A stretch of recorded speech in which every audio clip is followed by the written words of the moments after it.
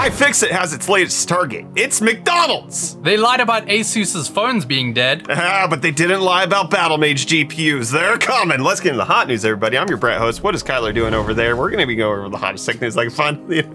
While you enjoy your breakfast this Wednesday, August 30th, 2023. And we're going to start off today talking about how iFixit wants to repair McDonald's ice cream machines.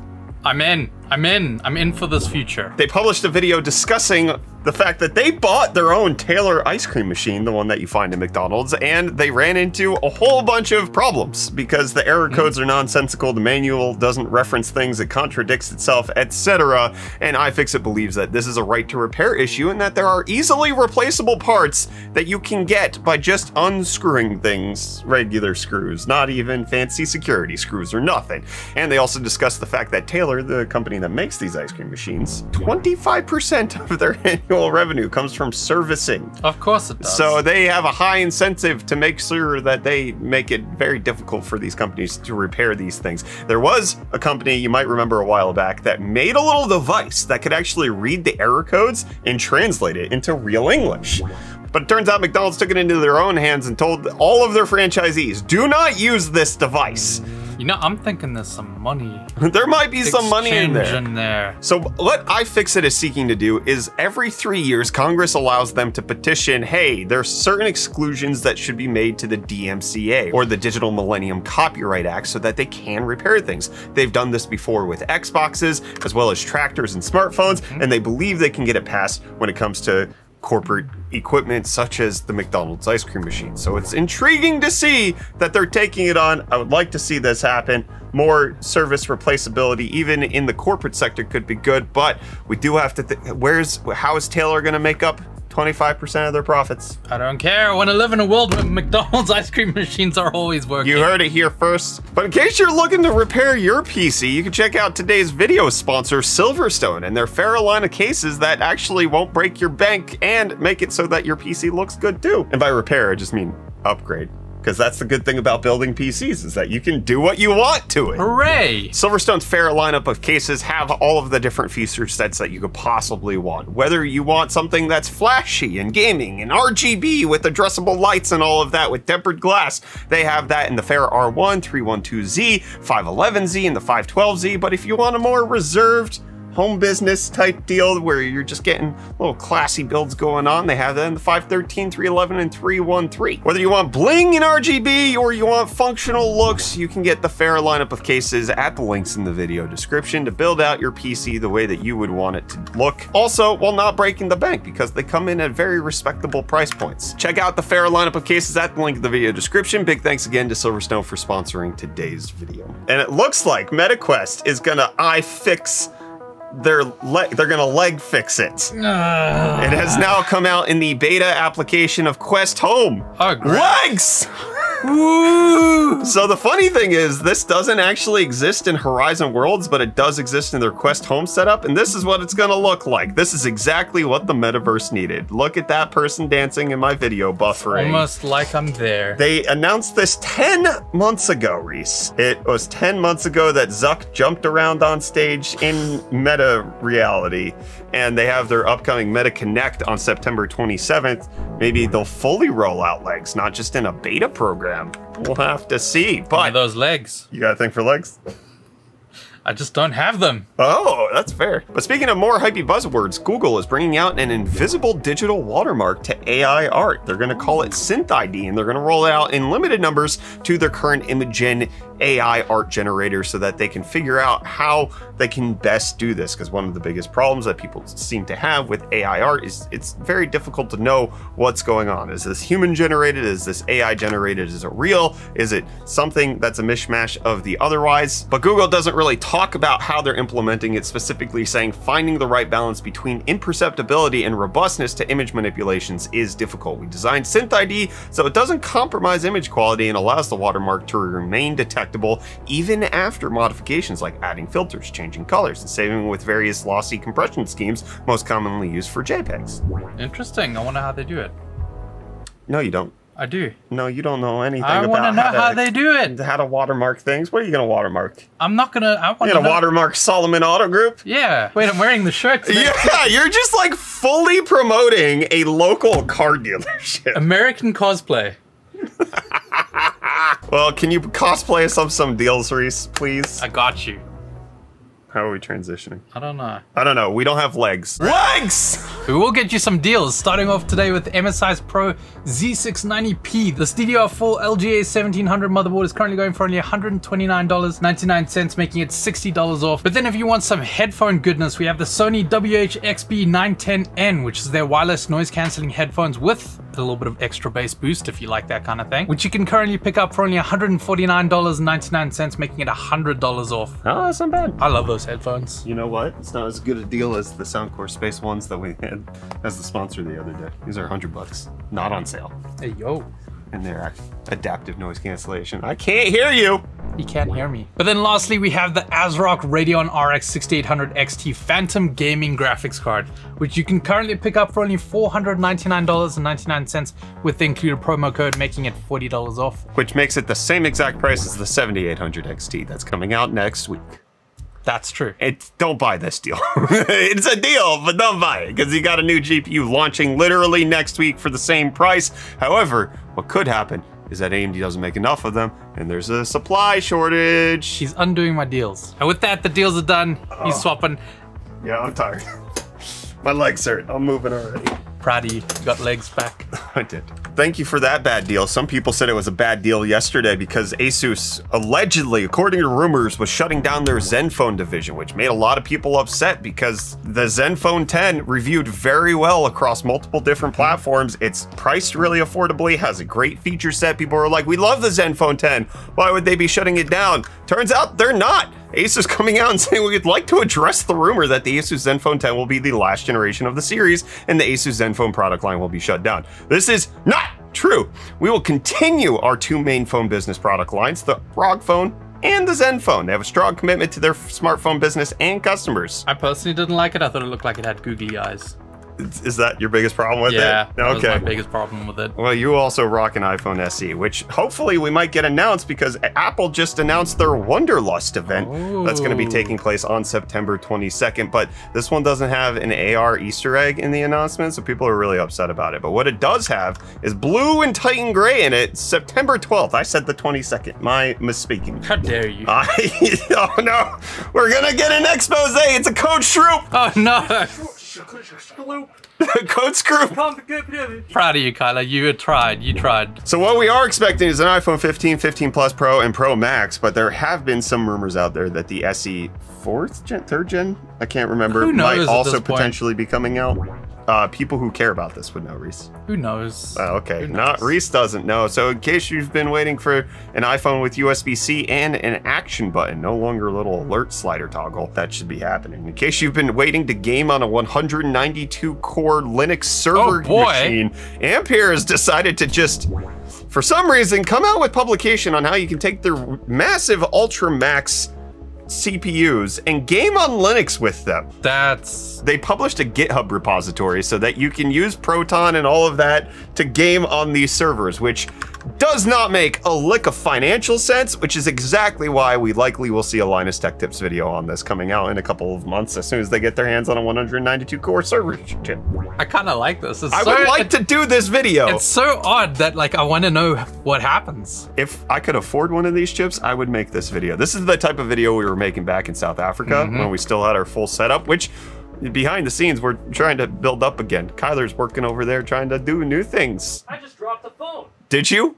Is it broken? It was on purpose. Oh, good.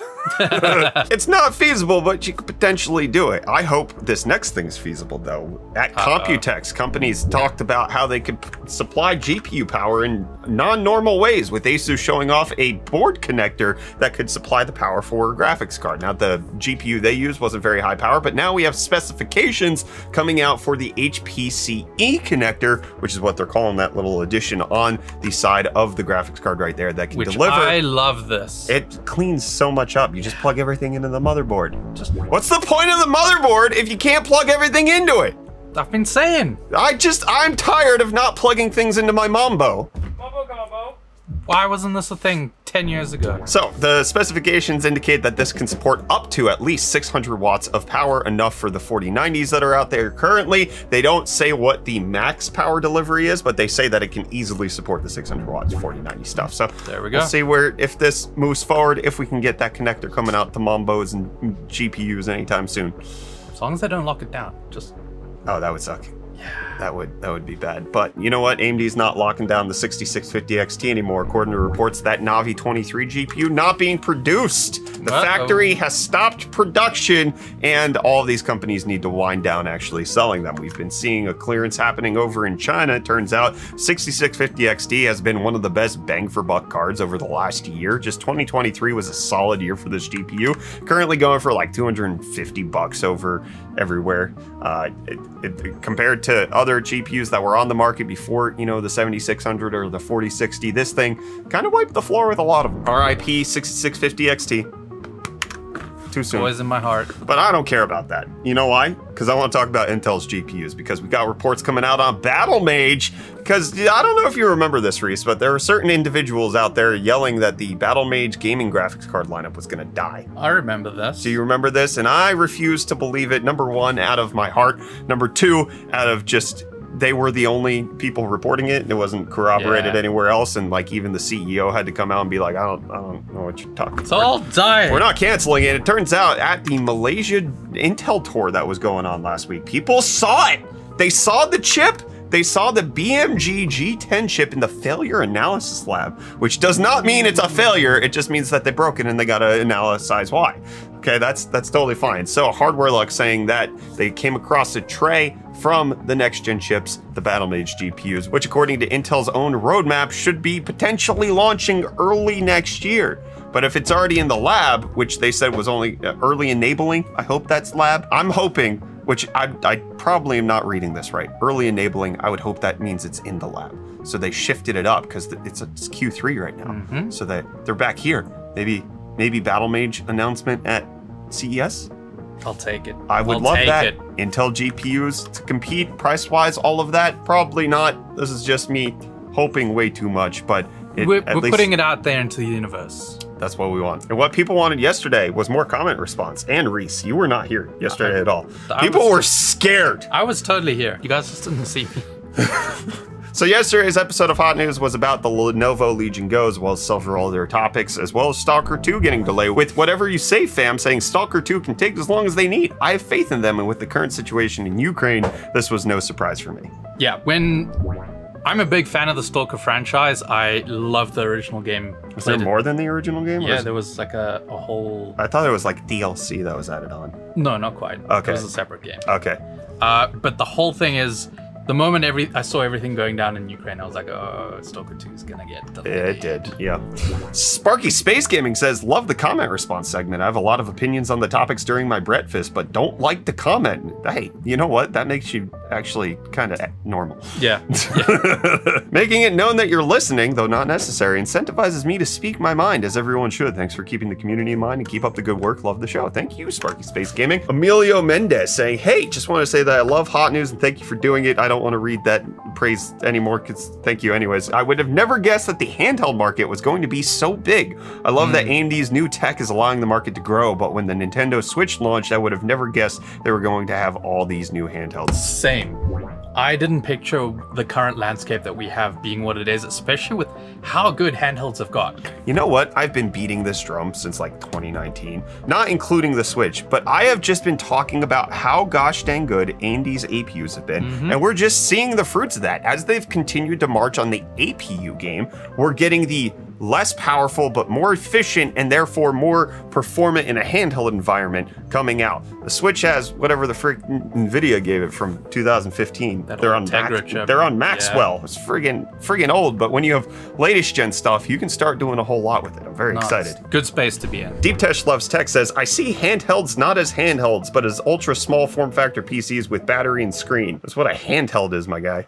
Yep. I don't, I don't, I don't know what you're saying. Okay, if, if you maybe like comparing a handheld to like a Nintendo 3DS or something, that's what my brain goes to. Uh, like a handhelds. Game Boy? Yeah, yeah, something like that. I guess, but the Switch kind of changed the entire conversation Yeah, around yeah. handhelds, and I feel like the Steam Deck falls right into that. The ROG Ally falls right in. But Deep Tech saying that in that aspect, the Ally wins due to better external GPU support. Legion Go does not have Oculink, unfortunately. The Ally has some weird proprietary crap that you have to spend a like a thousand dollars on to get an actual GPU. Like the Ally just also makes it prohibitive to have external GPUs. The the only companies that I think are winning in the external GPU is GPD and AYANEO. Yeah, I just plug my external graphics card in, no problem. yeah, the ROG Ally does not win for external graphics card support, despite the fact that it has it. I disagree heavily. Stephen Hart says, Where's Reese? You should have kept him in the US. I was really digging the dynamic duo episodes. Where is he? I actually missed not having you here, and it, it made me think of what will I do when you're gone. And I was like, Kyler's just gonna have to waste his afternoon filming hot news with me because I, Kyler. I can't. I don't. It doesn't feel normal to do it alone anymore. James Kavanaugh said the Reeselessness is actually a little weird.